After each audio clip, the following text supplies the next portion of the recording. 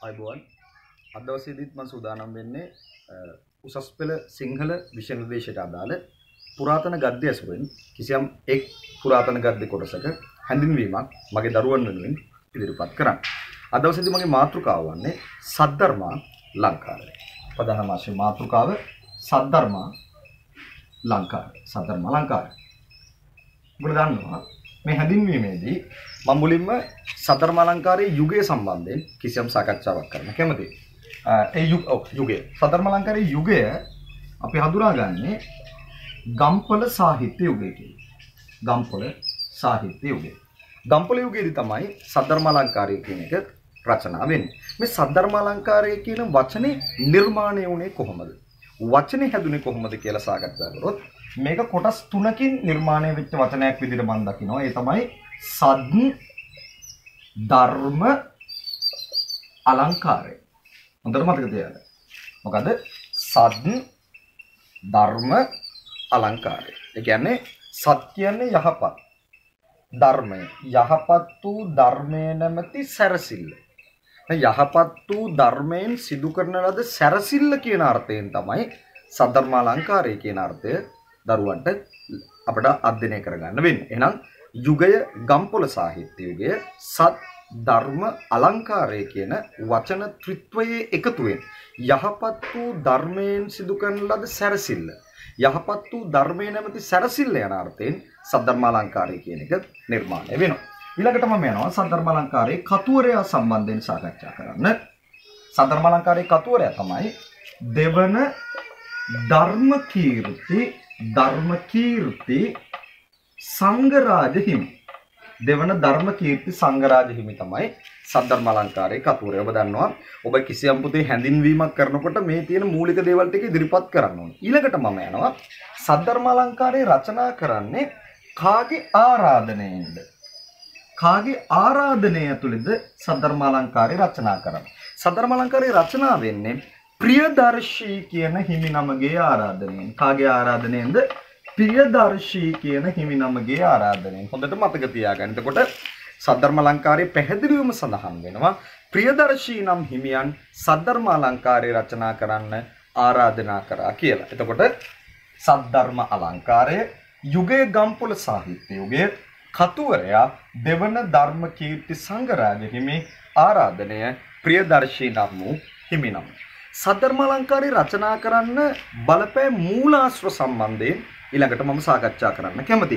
සද්ධර්ම අලංකාරය රචනා කිරීමට බලපෑ ප්‍රධානම මූලාශ්‍රය බවට පත් වෙන්නේ. හොඳට මතක තියාගන්න. ප්‍රධානම මූලාශ්‍රය තමයි පාලි රසවාහිනිය. මොකද ප්‍රධාන මූලාශ්‍රය? පාලි රසවාහිනිය. ඔබ හොඳට මතක තියාගන්න. පාලියේ කෘතියක් තියෙනවා රසවාහිනිය කියලා. මෙන්න මේ රසවාහිනී කියන කෘතිය රචනා කරන්නේ වේදේහ නම් හිමියන්. කවුද රචනා කරන්නේ? වේදේහ හිමියන්ගේ පාලි රසවාහිනිය ඇසුරු කරගෙන තමයි සද්ධර්මාලංකාරය රචනා කරලා තියෙන්නේ. සක්කර දැන් මට මේ ටික කියාගෙන එන්න සද්ධර්ම අලංකාරය යුගය ගම්පොළ සාහිත්‍ය යුගය කතුවරයා දෙවන ධර්ම කීර්ති සංඝරාජ හිමි ආරාධනා කළේ කවුද මේ ලියන්න කියලා ප්‍රියදර්ශී කියන හිමිනම ප්‍රධාන මූලාශ්‍රය මොකක්ද? පාලි රසවාහිනිය. කවුද පාලි රසවාහිනිය රචනා කරේ? වේදේහ හිමියන්. මම මෙන්න මේ පාලි රසවාහිනිය සම්බන්ධයෙන් මගේ දරුවොත් එක්ක කිසියම් සාකච්ඡාවක් කරන්න ඕනේ. පුතේ මේ පාලි රසවාහිනිය කියන එකේ කොටස් දෙකක් තියෙනවා කතා ගත්තම. පාලි රසවාහිනිය කියන එකේ කතා ගත්තම කොටස් දෙකක් තියෙනවා. ඒ කොටස් දෙක තමයි එක ජම්බු දීපයේ උත්පත්ති කතා. මොකද ජම්බු දීපයේ උත්පත්ති කතා. හරි. දෙක ලංකාද්වීපයේ උත්පත්ති කතා. හරි හොඳට මතක තියාගන්න. මම මේ කියන්නේ සද්ධර්ම අලංකාරයේ කතා වර්ග දෙකක් තියෙනවා කියලා නෙමෙයි. මම මේ මොකද කියන්නේ? පාලි රසවාහිනිය කතා වර්ග දෙකක් තියෙනවා. මොකද කතා වර්ග දෙක? ජම්බුදීපයේ උත්පත්ති කතා සහ ලංකාදීපයේ උත්පත්ති කතා කියලා. මොනවද ජම්බුදීපයේ උත්පත්ති කතා කියන්නේ? දඹදිව සමාජය ඇසුරු කරගෙන ඉපදිච්ච කතා. ඒකේ දඹදිව නම් ගම් තමයි තියෙන්නේ. ඒ දඹදිව ග්‍රාමයන්ගේ නම් තමයි තියෙන්නේ. දඹදිවේ ඉන්න මිනිස්සුන්ගේ නම් තමයි තියෙන්නේ. හැබැයි තවත් කතා වර්ගයක් තියෙනවා ලංකාදීපේ උත්පත්ති කතා කියලා. ඒකේ තියෙන ලංකාවේ අනුරාධපුරයේ උතුරාලු නම්ගම ওই වගේ තියෙන්නේ. හැබැයි ඔබ මතක තියාගන්න සද්ධර්මාලංකාර කතුවරයා. මෙන්න මේ කියන රසවාහිනිය කතා ජම්බුදීපයේ උත්පත්ති කතා ටිකත් ලංකද්වීපයට ගැලපෙන විදියට නිර්මාණය කරගෙන තමයි සද්ධර්මාලංකාරය තුල අන්තර්ගත කරලා තියෙන්නේ. හොඳට මතක තියාගන්න. දැන් පටල ගන්න එපා මම කිව්වේ නෑ සද්ධර්මාලංකාරයේ කතා කොටස් දෙකක් බෙදෙනවා කියලා ජම්බුදීපේ ලංකදීපේ කියලා. මම මොකද කිව්වේ? පාලි රසවාහිනියේ කතා වර්ග දෙකක් තියෙනවා. මොකද්ද කතා වර්ග දෙක? ජම්බුදීපේ උත්පත්ති කතා සහ ලංකදීපේ උත්පත්ති කතා. එතකොට සද්ධර්මාලංකාර කතුවරයා මේක සද්ධර්ම ලංකාරයට ගන්නකොට ලංකාවට ගැලපෙන විදියට මෙන්න මේ ජම්බුදීපේ කතා ටිකත් නිර්මාණය කරගෙන තියෙනවා කියන එක මතක තියාගන්න ඕනේ. මීට අමතරව මේ පාලි රසවාහිනියට අමතරව මහා වංශය සහ සහස්සවත්තුව හොඳට මතක තියාගන්න ඕනේ.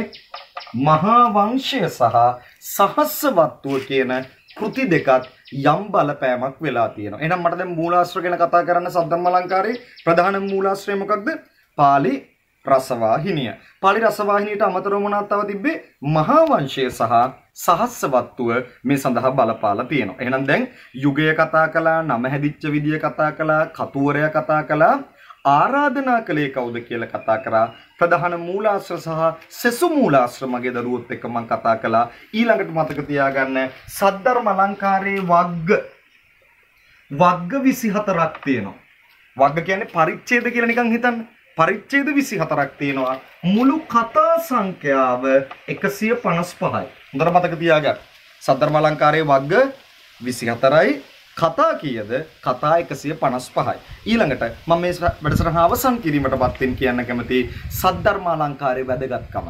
සද්ධර්ම අලංකාරයේ විශේෂත්වය විශේෂයෙන්ම මාටින් වික්‍රමසිංහයන් මේක අඳුන්වනවා මේ සද්ධර්ම අලංකාරය බණ පොතකටත් වඩා ලංකාවේ ඓතිහාසික තොරතුරු සොයාගත හැකි මූලාශ්‍රයක් විදියට අපිට වැදගත් වෙනවා කියලා. ලංකාවේ ආර්ථික තොරතුරු, ලංකාවේ සමාජ තොරතුරු, ලංකාවේ දේශපාලනික තොරතුරු, ලංකාවේ ආගමික තොරතුරු වගේ ලංකාවේ එවකට පැවති ඓතිහාසික තොරතුරු සොයාගත හැකි මූලාශ්‍රයක් විදියටත් මේ සද්ධර්ම අලංකාරයේ වැදගත් වන බව ඔබ මතකයේ තබාගත යුතු වෙනවා. එහෙනම් යුගය ගම්පොල සාහිත්‍ය යුගය සත් ධර්ම අලංකාරය කියන වචන තුනේ එකතුව දෙවන ධර්මකීර්ති සංඝරාජ හිමියන්ගේ රචනය ප්‍රියදර්ශී හිමියන්ගේ ආරාධනය පාලි රසවාහිනිය ප්‍රධාන මූලාශ්‍රය ඊට අමතරව මහා වංශය සහ සහස්සවත්තුව මුළු කතා 155යි වග්ග නැත්නම් පරිච්ඡේද 24යි ලංකාවේ ඓතිහාසික තොරතුරු සොයාගත හැකි මූලාශ්‍රයක් විදියට සද්ධර්මාලංකාරය වැදගත් වෙනවා. එසේනම් අපි මෙවැනිම තවත් පාඩමකින් ඊළඟ දවසේදී මුණ ගැහෙමු. සියලු දෙනාටම සුබ දවසක්.